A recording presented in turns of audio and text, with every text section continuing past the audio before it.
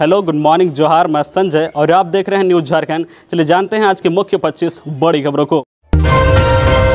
पंद्रह जनवरी तक सभी स्कूलों के पांचवी क्लास तक की छुट्टी शिक्षा मंत्री जगन्नाथ महतो ने दिया आदेश। तत्काल प्रभाव से होगा लागू। राज्य में जारी ठंड के कहर को देखते हुए सभी श्रेणी के स्कूल जहाँ पांचवी तक की पढ़ाई होती है, अब 15 जनवरी तक बंद रहेंगे। यह आदेश रविवार को शिक्षा मंत्री जगन्नाथ महतो ने दिया है। यह आदेश तत्काल प्रभाव से लागू होगा। बताते चले कि इससे पहले तीन जनवरी को शिक्षा मंत्री के आदेश से आठ जनवरी तक के लिए स्कूलों को बंद किया गया था। आज सोमवार से सभी स्कूल खुलने वाले थे। इसी बीच लगातार मौसम में आ रही गिरावट को देखते हुए पांचवी कक्षा तक के स्कूलों को 15 जनवरी तक बंद रखने का आदेश दिया गया है। बता दें कि वर्तमान में राज्य के सभी जिलों का पारा 10 डिग्री सेल्सियस से नीचे हो गया है।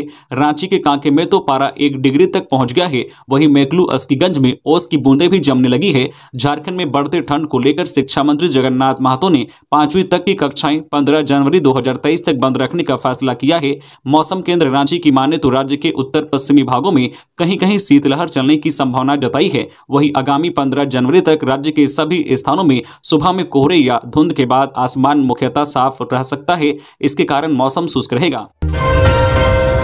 नियोजन नीति को लेकर जेएमएम ने किया दावा। रोज़गार सरकार की प्राथमिकता में प्रमुख बजट सत्र से पहले लिया जाएगा ठोस कदम। रोज़गार सरकार की प्राथमिकता में सबसे ऊपर है। ऐसे में नियोजन नीति को लेकर जो कुछ चल रहा है, उसका हल जल्द निकाल लिया जाएगा। बजट सत्र से पहले नियोजन नीति पर कोई ठोस निर्णय ले लिया जाएगा। युवाओं को इसके लिए चिंतित होने की ज़रूरत नहीं है। ये बातें जेएमएम के महासचिव सुप्रीमा भट्टाचार्य ने कही। वे रविवार को गृहमंत्री अमित शाह के चायबासा प्रवास को लेकर पत्रकारों से बात कर रहे थे। धनबाद के तोमचांची बाज़ार में बम ब्लास्ट, बाइक की डिक्की में रखा था बम, सब्ज़ी बेच रही चार महिलाओं समेत पाँच घायल। धनबाद के तोपचांची स्थित बाज़ार में रविवार करीब पौने तीन बजे बम ब्लास्ट हुआ। इस हादसे में चार महिलाओं समेत पाँच लोग घायल हुए हैं। सभी को धनबाद मेडिकल कॉलेज में इलाज के लिए लाया गया है।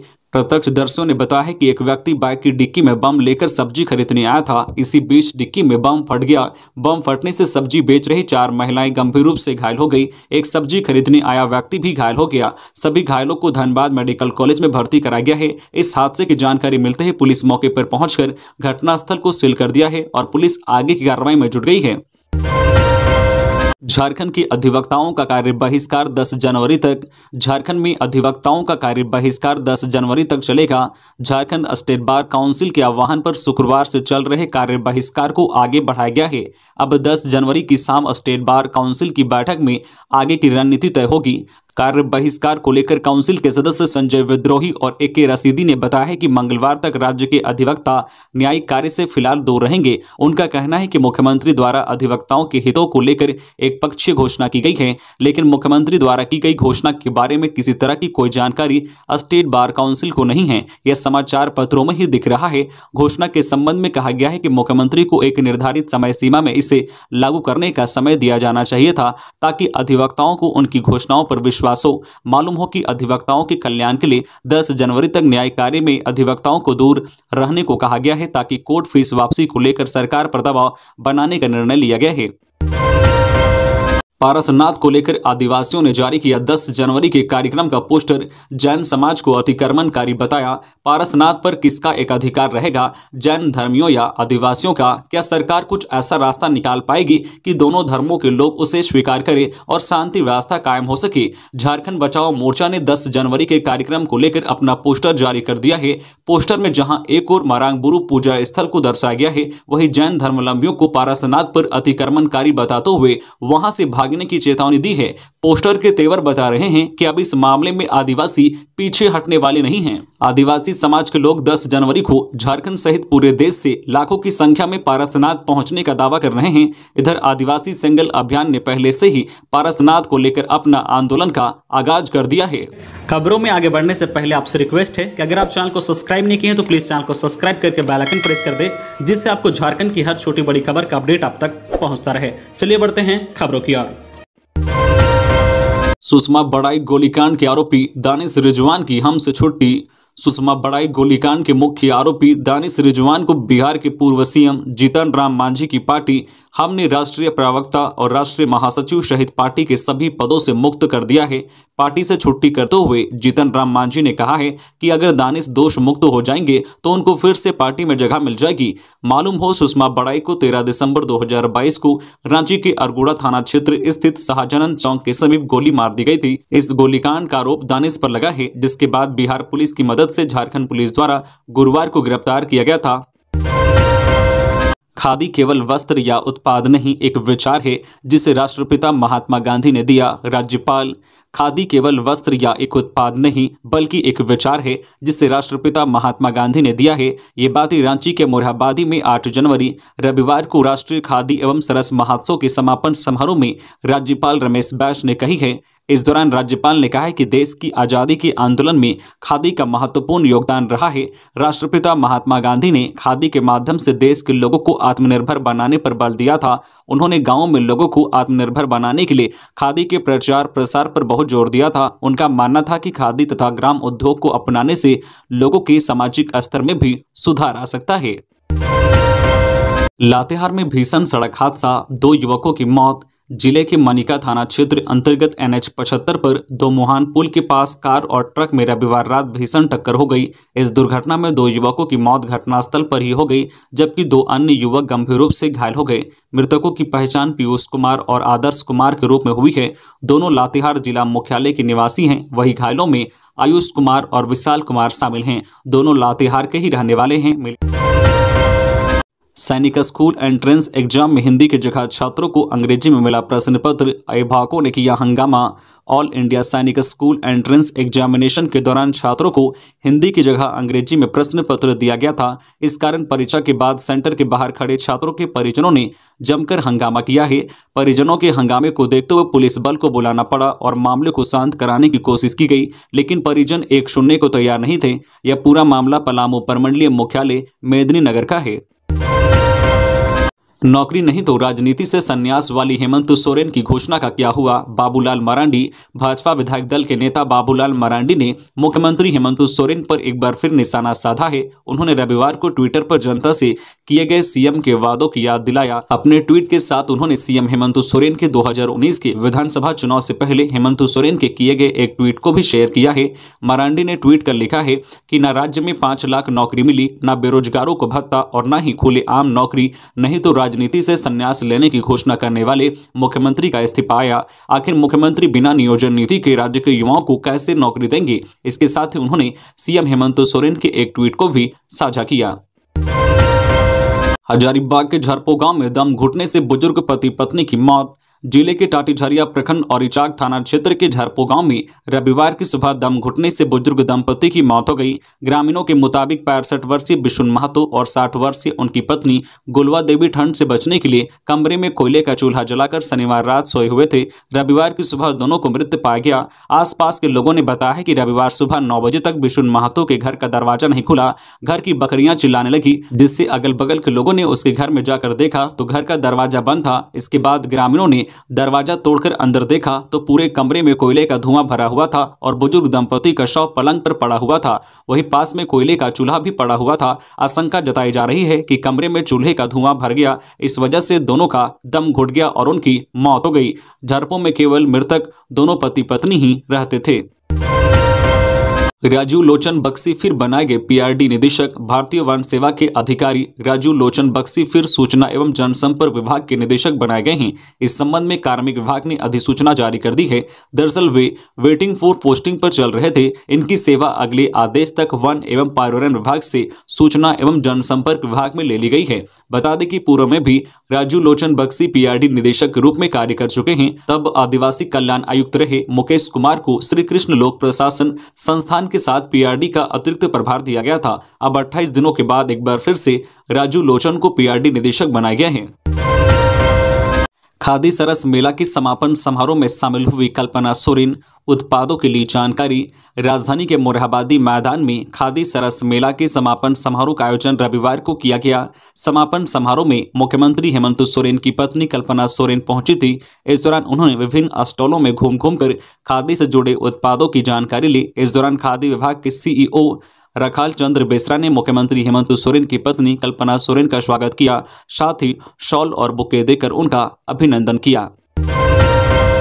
आलोक दुबे, लाल किशोर नाथ, राजेश गुप्ता सहित पाँच नेता छह साल के लिए होंगे कांग्रेस से निष्कासित। झारखंड कांग्रेस कमेटी के तीन नेताओं, आलोक दुबे, लाल किशोर नाथ सहदेव, राजेश गुप्ता सहित पाँच नेताओं को छह साल के लिए पार्टी से निष्कासित करने की अनुशंसा की गई है। यह अनुशंसा झारखंड प्रदेश कांग्रेस अनुशासन समिति ने की है। अनुशंसा प्रभारी अविनाश पांडे और प्रदेश अध्यक्ष राजेश ठाकुर को की गई है। पार्टी मुख्यालय में रविवार को अनुशासन समिति की बैठक में यह फैसला लिया गया, जिन्हें निष्कासित करने की अनुशंसा की गई है। उनमें साधु शरण गोप सुनील सिंह भी शामिल हैं। इन नेताओं को निष्कासित करने का अंतिम फैसला अब प्रभारी और अध्यक्ष लेंगे। बैठक के बाद समिति के अध्यक्ष ब्रिजेंद्र सिंह ने बताया कि प्रदेश नेतृत्व के खिलाफ बयानबाजी और अनुशासनहीनता करने वाले सात नेताओं को चौदह दिन पहले नोटिस भेजा गया था। इन्हें अपना पक्ष रखने का निर्देश दिया गया था। सात नेताओं के जवाब को लेकर रविवार को बैठक की गई। प्रदेश कांग्रेस समिति के दो सचिव राजेश तिवारी और अनिल कुमार ओझा ने अनुशासन समिति को जवाब भेजा, जिसे देखते हुए इनके खिलाफ कार्रवाई समाप्त कर दी गई। वहीं अन्य पाँच नेताओं ने अनुशासन समिति को कोई जवाब नहीं भेजा। इसे देखते हुए इनके खिलाफ कार्रवाई की पहल की गई। जवाब नहीं देने वाले इन पाँच नेताओं को अगले छह साल के लिए पार्टी से निष्कासित करने की अनुशंसा की गई है। भारतीय फुटबॉल टीम के लिए आयोजित कैंप में झारखंड की नौ खिलाड़ी चयनित चेन्नई रवाना। भारतीय फुटबॉल टीम के गठन के लिए चेन्नई में 8 से 23 जनवरी तक कैंप आयोजित किया गया है। इस कैंप में झारखंड के नौ खिलाड़ियों का चयन हुआ, जिसमें छह खिलाड़ी चेन्नई रवाना हुई। इन खिलाड़ियों में अमीषा बाकला, अष्टम उरांव, सुमति कुमारी, नीतू लिंडा, सुधा अनिता तिर्की एवं अंजलि मुंडा शामिल हैं, जबकि चयनित तीन खिलाड़ी शिविर में पहले से ही पहुँच चुकी है। झारखंड की खेल निदेशक सरोजनी लकड़ा के निर्देश पर रांची जिला खेल पदाधिकारी संजीत कुमार ने सभी खिलाड़ियों को शुभकामनाएँ देते हुए रांची एयरपोर्ट से रवाना किया। पारा शिक्षकों की आकलन परीक्षा 10 फरवरी तक बढ़ने के संकेत। सहायक अध्यापकों पारा शिक्षकों के लिए अच्छी खबर है, क्योंकि आकलन परीक्षा की तिथि आगे बढ़ाई जाएगी। इससे शिक्षकों को अपनी तैयारी करने के लिए समय मिल जाएगा। सहायक अध्यापक लंबे समय से आकलन परीक्षा के लिए अतिरिक्त समय देने की मांग कर रहे थे। सहायक शिक्षकों के मानदेय वृद्धि के लिए आकलन परीक्षा को अनिवार्य किया गया है। इसके लिए पिछले दिनों सभी सहायक शिक्षकों की प्रमाण पत्रों की जाँच कराई गई है। साथ ही साथ आकलन परीक्षा में भाग लेने के लिए ऑनलाइन आवेदन कराया गया है। इस आवेदन प्रक्रिया में कई शिक्षक छूट गए थे, अब तिथि बढ़ने की स्थिति में उन्हें भी आवेदन भरने का मौका मिल पाएगा। दरअसल झारखंड प्रदेश सामुदायिक सहायक अध्यापक संघ के प्रदेश अध्यक्ष विनोद बिहारी महतो, प्रदेश संगठन मंत्री सुनील कुमार पांडे, पूर्वी सिंहभूम के जिला अध्यक्ष सुमित तिवारी बाल गोविंद महातो ने शनिवार को सूबे के शिक्षा मंत्री जगन्नाथ महातो से मुलाकात की। इस दौरान सर्वप्रथम उन्होंने शिक्षा मंत्री को नौ वर्ष की बधाई दी। इसके बाद आकलन परीक्षा की तिथि 10 फरवरी तक बढ़ाने की बात रखी गई। मंत्री ने आगरा को मान लिया। अब जो सहायक अध्यापक आकलन फॉर्म नहीं भर पाए हैं, वे अब फॉर्म भर सकेंगे। साथ ही विसंगति का भी निपटारा किया जा सकेगा। अप्रशिक्षित शिक्षकों को भी इस दौरान एक मौका देने की बात पर विचार किया जाएगा।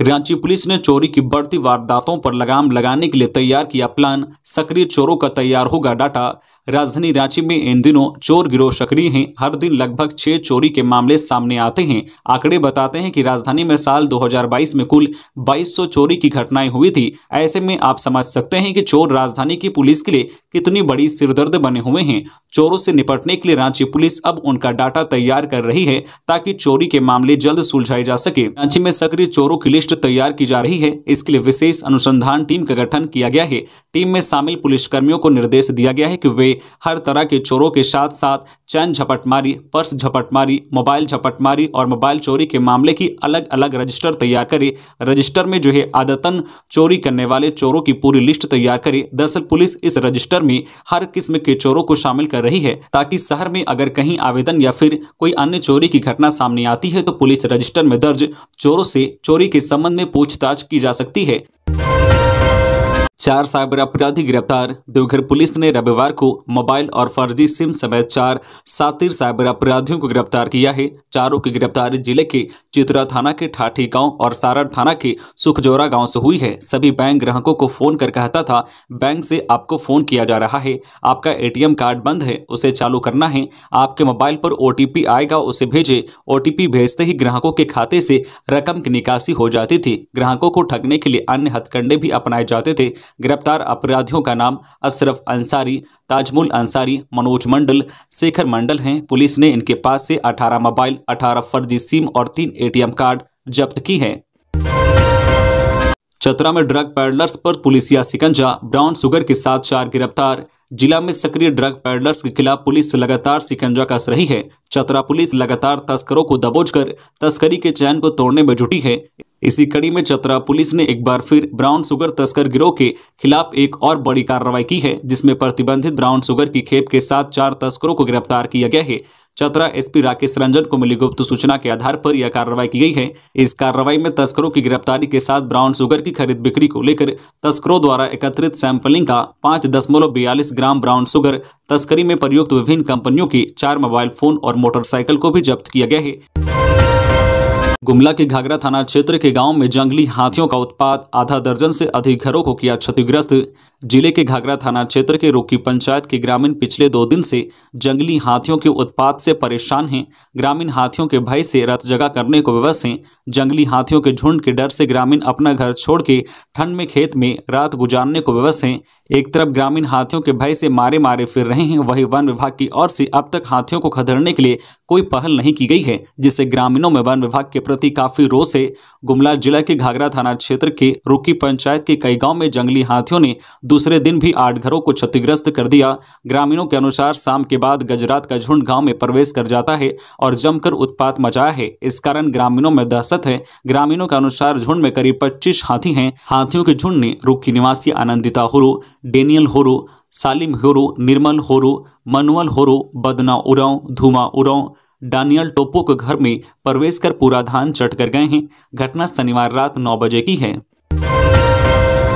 एडीसी के नेतृत्व में जहाज़ हादसे की जाँच करने पहुँची टीम। कंपनी के कर्मियों से घंटों पूछताछ। ज़िले के एडीसी विनय कुमार मिश्रा के नेतृत्व में एसडीओ राहुल जी, आनंद जी, डीएमओ विभूति कुमार और डीटीओ संतोष कुमार गर्ग साहिबगंज मनिहारी के बीच गंगा पुल बना रही कंपनी दिलीप बिल्डकॉन के जहाज़ हादसा मामले की जाँच करने पहुँचे घटनास्थल पर पहुंचकर अधिकारियों ने जहाज़ के संचालक से पूछताछ की। साथ ही जो है डीबीएल कंपनी के कास्टिंग यार्ड ऑफ़िस में पहुंचकर घंटों कागज़ी प्रक्रिया पूरी की। इस दौरान अधिकारियों ने जिस ट्रक का टायर फट जाने से दुर्घटना हुआ था, उस ट्रक की भी जाँच की। इस दौरान अधिकारियों ने डीबीएल कंपनी के कर्मचारी भानु प्रताप सिंह से दुर्घटना के बारे में अहम जानकारी ली। साथ ही दुर्घटना के दिन जहाज़ में मौजूद चालकों को बुलाकर बारी बारी से दुर्घटना के बारे में जानकारी ली। गौरतलब है कि साहिबगंज में जहाज़ हादसा 30 दिसंबर की सुबह 8 बजे ट्रक का टायर फट जाने के कारण हुआ था।